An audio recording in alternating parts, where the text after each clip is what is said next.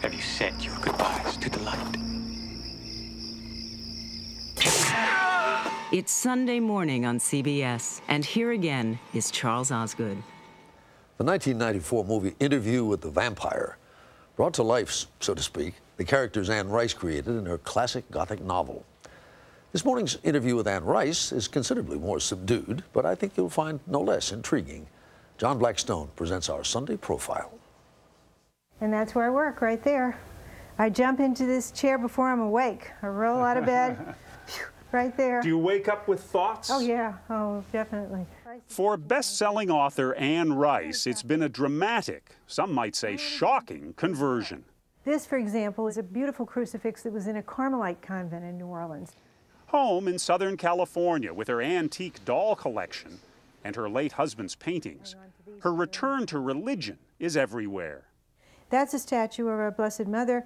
This is a statue of the boy Jesus. After nearly four decades as an avowed atheist writing about vampires, Anne Rice is back in the Catholic Church. Back in her favorite writing attire, flannel nightgowns, and writing about Jesus. The first in her series of books was published last fall. Christ the Lord is about Jesus as a seven year old, something the Bible never touched. I wanted to say, look, you know, the story is is considered by skeptics to be far-fetched. The virgin birth, the magi, the shepherds. Okay, it's far-fetched. Come with me, and when you're in this novel, you're going to believe it. I'm going to make you believe. I'm going to use every skill that I ever used to make you believe in vampires and witches so that you call me at home at night and ask me if they really exist. I'm going to use that same skill to make you believe that Jesus is the Son of God. That's my mission. Most of these books I've been through and I've extracted something and learned something from just about every one. Rice may be hoping for a miracle, but consider her track record. When it comes to the supernatural, her books have sold more than 50 million copies worldwide. In them, Rice broke popular convention, telling stories not from the victim's point of view, but from the vampires. She wrote her debut novel, Interview with the Vampire, in 1973. The film version starred Tom Cruise and Brad Pitt as Rice's glamorous, sympathetic, and sensual vampires. And now, Broadway is about to host her Vampire Lestat, a musical. Were vampires the first thing you thought of writing no, about? No, not at all. Not at all. I stumbled over the idea of writing from the point of view of a vampire. It was just something I tried one night. I was just sitting at the typewriter and I thought, well, let me give this a try. What would it be like if you could get a vampire to tell you what his experiences were, like an interview with a vampire? Her books, says Rice, reflect a long personal journey. These are French dolls, and they probably come from 1890. as do the fragile dolls she collects. Like these dolls like this spot. If they didn't, you'd know. They would look droopy. Why dolls? Why collect dolls? I don't know. I love them. Maybe it's something to do with my daughter losing her. Her name was Michelle, and she died of leukemia just before her sixth birthday in 1972. It was in the wake of mourning while living in San Francisco that Rice found her voice. The vampire was a perfect metaphor for the way I felt. I felt like a lost person, a person in the dark, a person who was trying to find meaning in life, trying to find a context. New Orleans was often the setting, the hometown she moved back to in 1988 with her husband Stan, a painter and poet, and their son Christopher. He says he learned early he didn't exactly have the parents next door. You definitely had to become a storyteller early on to hold your own in the conversation. And you definitely had to become good at Scrabble at age seven. We were playing Scrabble when I was seven. And they were yanking out these words like charlatan, and I was doing dough, you know. Rice was a celebrity and once famously dressed for the occasion. At what point did you kind of realize, or do you remember realizing, well, my parents are, are more intense than other people? I think it was when we moved to New Orleans. I think I think that's when I began to see other people relate to mom as if she were Anne Rice. And that move to New Orleans also coincided with the publication of The Queen of the Damned, which is the book that changed the way we lived mm-hmm. forever. And Aaron Beckett's advance in five minutes. You know, Yeah. they were selling it out of cartons on the floor. Yeah. And that, that was great.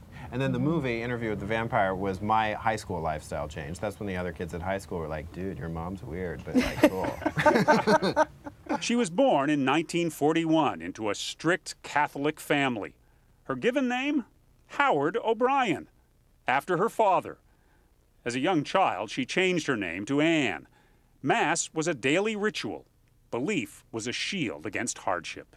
My mother died um, very young. She died in her 40s, and she died from complications of alcoholism. How could you put this together with this Catholic life you were leading? Uh, I think even then, in the 50s, we had a sense that it was a disease, that it was something, you know, uh, a terrible disease. And the one time she talked to me about it, she described it that way as a craving in the blood.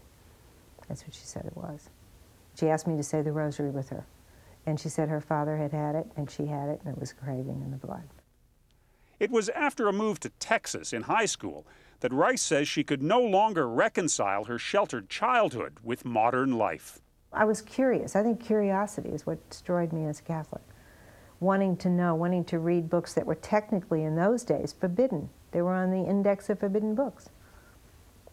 You know, it was a very tight world then, the Catholic world. So you gave up religion? I, I lost my faith. I stopped believing it. I stopped believing in my church and then I stopped believing in God. I think the two were very intimately connected for me. Rice says she wanted to make her own meaning and soon after married Stan, the love of her life and an atheist too. It wasn't until the late 90s, says Rice, that her faith returned.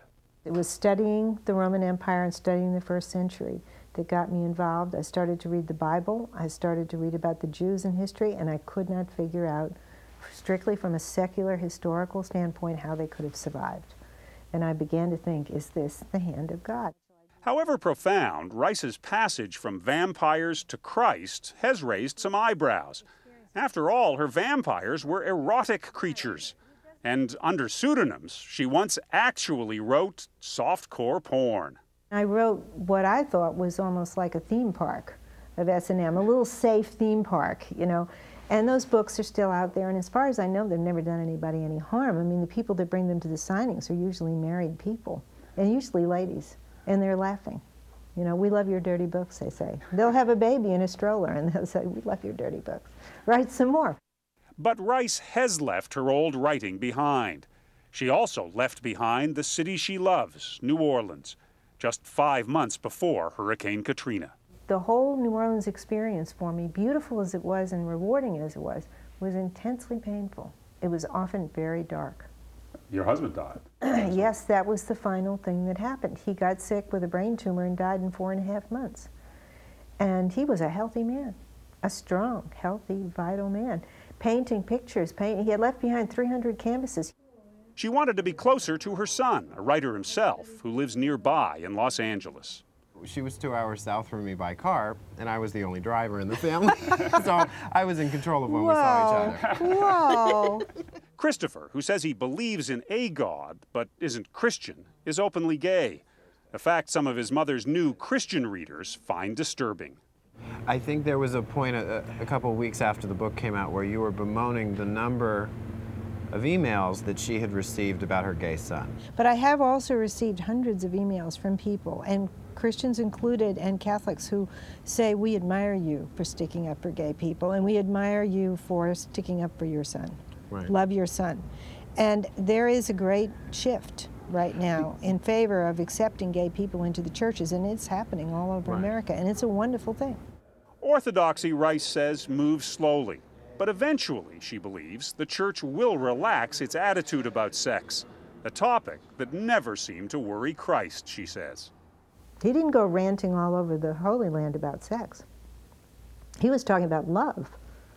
Love, loving one another. Rice says it's Christ's message of love she hopes to get across to her readers. She recently toured the Holy Land to make sure she gets it all just right. Now, Bethany, where Mary and Martha lived, it wouldn't be here, would it? It was right behind the mountain. Right behind the and mountain. And it's still there. Okay. She is awed, she says, by Jerusalem's long history.